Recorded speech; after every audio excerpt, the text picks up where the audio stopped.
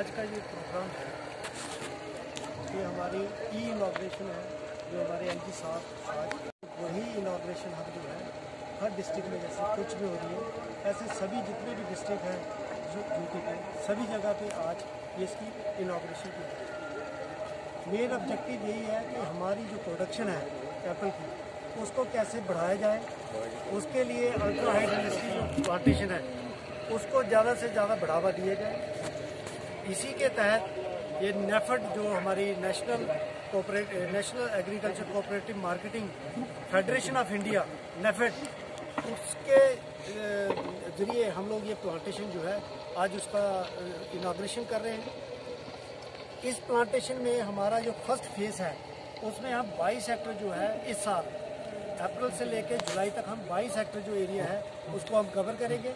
उसके बाद हर साल जो है, इसका एरिया जो है, बढ़ाते जाएँगे।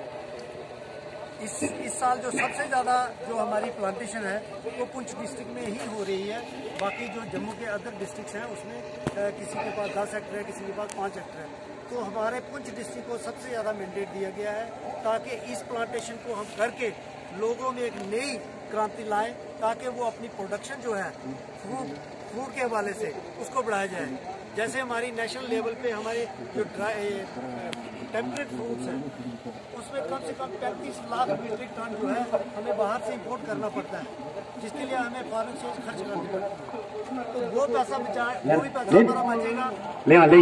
और जो हमारा फ्रूट जो प्रोड्यूस होगा वो जो है हमारी जो अपने देश के अंदर देश के अंदर भी जाएगा और विदेश में भी जाएगा। और ये फ्रूट जो है इसकी डिफरेंट कल्टीबार्स होगी डिफरेंट वराइटीज़ होंगी जो क्लाइमेट के हिसाब से जिसकी जो टोपोग्राफी थी उसी के हिसाब से चेंज होंगी।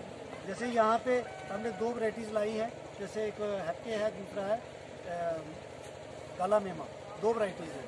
तो हमारी कोशिश होगी कि हर एक वैरायटी जो है, जो जहाँ पे मुफीद होगी, जहाँ पे उसकी ज़्यादा अच्छी प्रोडक्शन आ सकती है, उसी के हिसाब से हम उस इन वराइटीज़ को फार्मर के बीच में तकसीम किया जाए और एक स्ट्रक्चर जो है, इसके अंदर जो ट्रेली सिस्टम लगेगा उससे क्या होगा कि आपका जो ओले पड़ने से जो आपका फ्रूट वेस्ट होता है वो आपका फ्रूट ही वेस्ट नहीं होगा।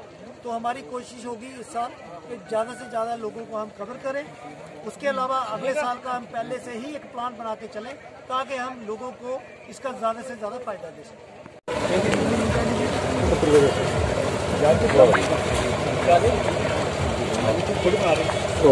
सर आपका नाम?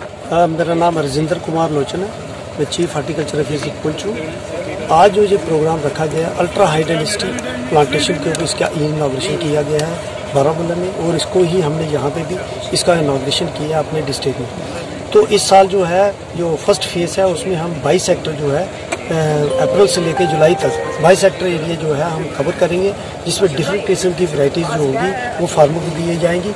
वो टोपोग्राफी के हिसाब से जहाँ, जो यहाँ पे मौजूद होगी, वही वरायटी दी जाएगी। तो आज का हमारा ऑब्जेक्टिव यही है कि हम लोगों में अवेयरनेस पैदा करें और साथ में लोगों को ये बताएँ कि ये अल्ट्रा हाई डेंसिटी जो प्लांटेशन है, ये आपके लिए आपकी जो प्रोडक्शन है, उसको चार गुना, पाँच गुना जो है इंक्रीज कर देगी।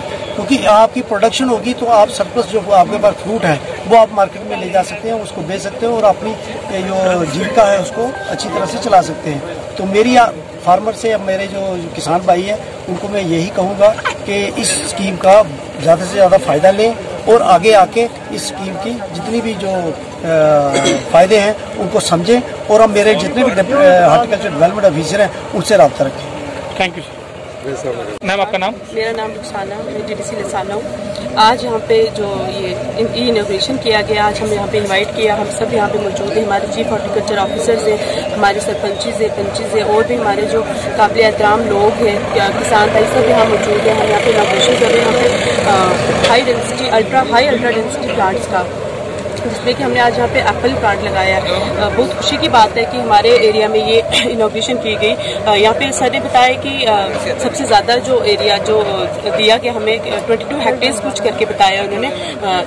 तो मैं, मेरी गुजारिश है अपने किसान भाइयों से कि वो आगे आएँ, वो इसका अच्छे से इस्तेमाल करें। तो जहाँ पे जम्मू कश्मीर एप्पल्स के लिए फ़ेमस माना जाता है। कश्मीर में कितनी वैरायटीज़ है। अगर हम कोशिश करें, हमारे पुंछ में भी वही सारी चीज़ें हो सकती हैं, जहाँ की हम एक्सपोर्ट कर सकते हैं यहाँ से खुद अपने लिए हम कितना अच्छा करके एक्सपोर्ट भी कर सकते हैं। इसलिए मेरी गुजारिश है कि हम इसका फ़ायदा उठाएँ, हमारे किसान भाई आगे आएँ, हमारी भी ये रिस्पॉन्सिबिलिटी बनती है, जो उनको हमारी मदद की ज़रूरत होगी, जहाँ पे हम भी आगे आएँगे, हम सब मिल ये काम करें और अपने इकोनॉमिकली कंडीशन जो हमारी डिस्ट्रिक्ट की, हमारी स्टेट की, वो उसको अप करें।